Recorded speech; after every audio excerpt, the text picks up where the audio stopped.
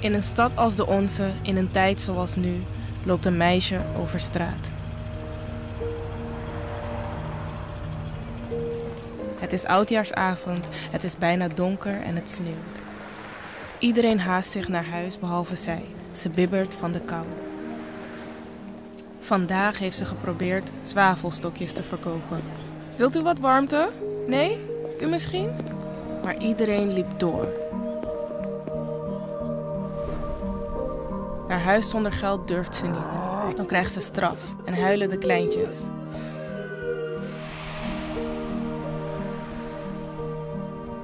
In een steegje gaat ze zitten. Even maar, denkt ze. Mijn voeten doen pijn. Ze zijn zo koud.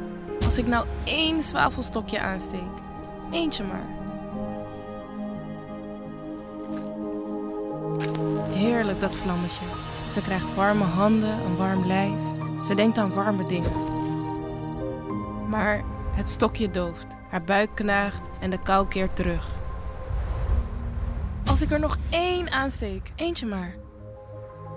Ze denkt aan eten, het lekkerste eten ter wereld. Al haar lievelingseten. Ze wil een hap nemen, maar het stokje dooft, de kou keert terug. Als ik er nog één aansteek, eentje maar. Ze denkt aan haar familie. Ze dragen mooie kleren en zijn samen. Ze geven elkaar cadeaus, dus genoeg voor iedereen.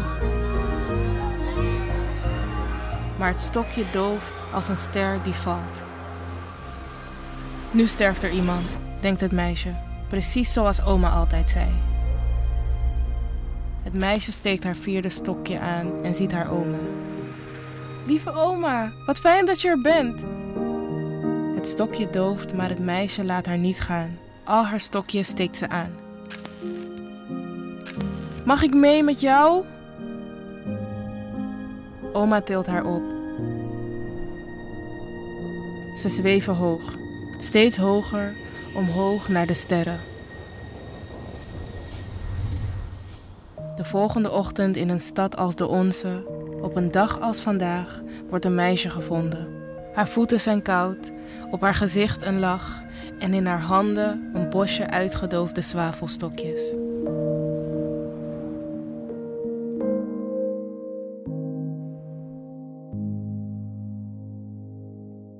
Dit sprookje werd getekend door Mickey Cohen samen met zes fantastische kinderen.